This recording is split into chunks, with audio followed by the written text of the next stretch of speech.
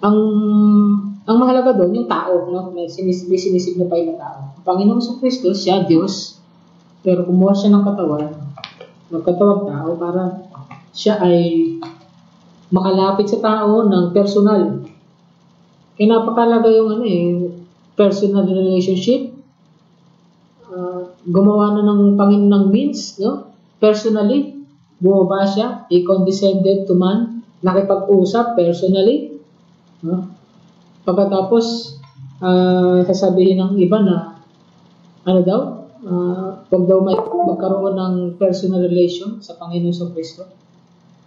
Yung mga nagtuturo na wag, wag magkaroon ng personal relationship sa ating Panginoon, yun yung mga nagtuturo na ano, ang ina-highlight yung iglesia. Na si ang Panginoon sa Kristo, hindi siya personal Savior kundi para sa kanila ay He is a congregational Savior. No? Tagapagligtas ng iglesia. Kaya, ang pinagbibigyan na sa doktrinang yun, umarap ka doon sa kanilang church. Para kay maligtas. Maging member ng church. Dahil pag di ka maging member sa kanilang church, hindi ka maligtas. Yung personal relation, hindi yung makapagliligtas sa'yo. Ang makapagliligtas sa'yo, yung iglesia dahil ililigtas ni Kristo, yun ang maling pagtuturo nila.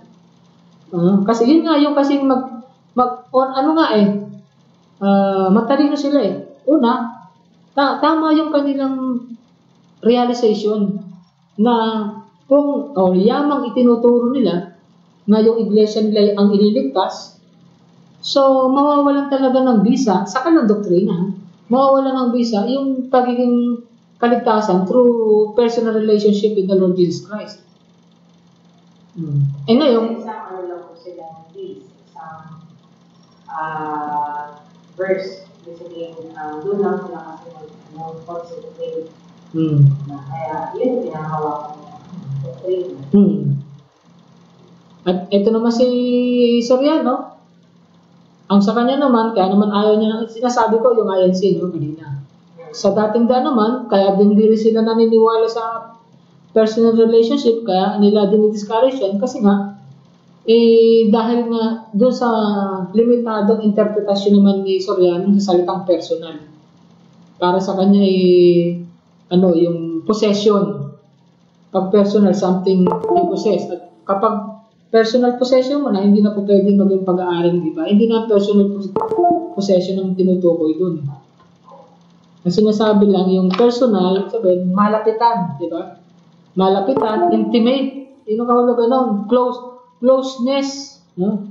Very close relationship. Hindi possession, personal possession agad yung, kumbaga, yung personal, ikinabit agad sa possession. Kasi, in example na yung toothbrush eh. Oh, yung toothbrush mo ba, uh, i, i, uh, papagamit mo ba sa iba? Eh, sa iyo, sa, sa lang ikaw lang pwedeng gumamit nun. Ganun ang ginawa na example eh. So, napakalimitado at napaka babaw na kanyang paniwala. Salitang personal. No? So, isabihin, person to person, ang ibig sabihin ng personal na ginamit doon. No? Uh, personal relationship, it is, ano, uh, closeness, intimacy. Oh. Ay kaya nga nung uh, si Apostle Paul nga eh, 'di ba? Pag pag binasa mo yung Galatians 2, verses 16 hanggang 20, yung, pan yung pagkilala sa Panginoon sa Kristo, very personal sa kanya eh. Ah. Diba ang sabi niya doon sa uh, Galatians? Oh, bisa ko, ba, dito ko lang mabasahin no, sa, sa verse 20. Na, dito yung punto na talagang napaka-personal si Jesus Christ sa kanya. Sabi niya, hindi, basahin ko muna 16. Knowing that a man is not justified by the works of the law, but by faith in Jesus Christ. Even we have believed in Christ Jesus, that we might be justified by faith in Christ and not by the works of the law. For by the works of the law, no flesh shall be justified. And then pagdating dito sa sa 20, I have been crucified with Christ. It is no longer I who live, but Christ lives in me. And the life which I now live in the flesh, I live by faith in the Son of God, who loved me and gave himself for me. I do not set aside the grace of God, for if righteousness comes through the law, then Christ died in vain. O pinersonalize niya yung ginawa ng ating Panginoon sa Kristo. No? Baga, di ba, nagtuturo siya. Nasa sulat din niya, Christ died for us. No? Uh, Christ loved us, di ba? Pero dito, pansinin mo, who loved me and gave himself for me. Oh, hindi ba? Pang, yun ang personal. So, pwede mong i-personal. At personal naman talaga ang dealing ng uh, Panginoon. Hindi ba pag tumawag ang Panginoon sa Kristo? Eh, individual naman siya tumawag eh. Diba? Individual ang pagtawag ng Panginoon sa kaligtasan.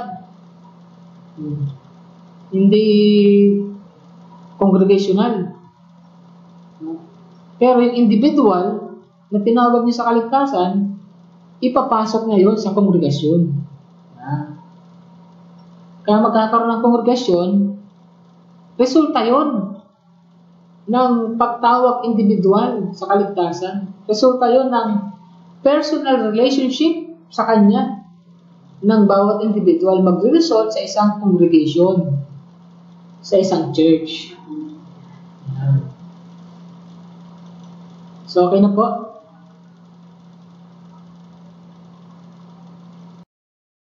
People will acknowledge Jesus Christ as a good man, a great teacher, or even a prophet of God. These things are definitely true of Jesus, but they do not fully define who he truly is. The Bible tells us that Jesus is God in the flesh, God in human form, see John 1 1, 14. God came to earth to teach us, heal us, correct us, forgive us, and die for us. Jesus Christ is God, the Creator, the Sovereign Lord. Have you accepted this Jesus? What is a Savior, and why do we need a Savior? The Bible tells us that we have all sinned, we have all committed evil acts, Romans 3 10-18. As a result of our sin, we deserve God's anger and judgment. The only just punishment for sins committed against an infinite and eternal God is an infinite punishment, Romans 6.23, Revelation 20 11-15. That is why we need a Savior. Jesus Christ came to earth and died in our place. Jesus' death was an infinite payment for our sins, 2 Corinthians 5.21. Jesus died to pay the penalty for our sins, Romans 5 8. Jesus paid the price so that we would not have to. Jesus' resurrection from the dead proved that his death was sufficient to pay the penalty for our sins. That is why Jesus is the one and only Savior, John 14:6, Acts 4.12.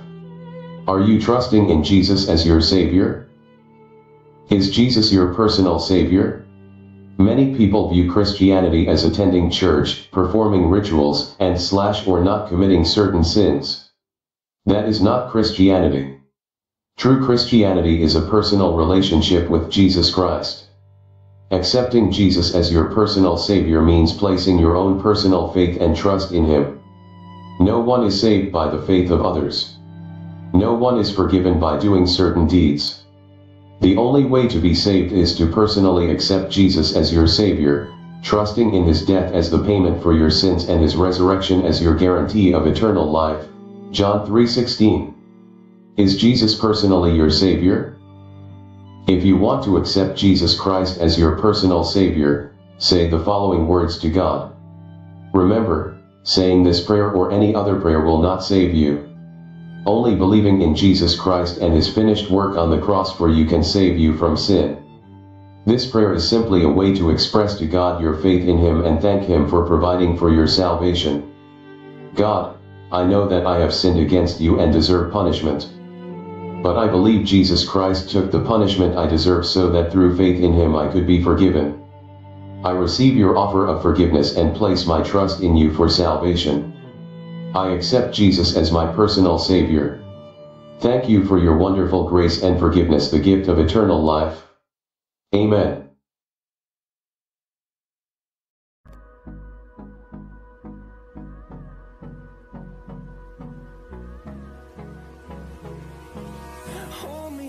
till I get up. Time is better.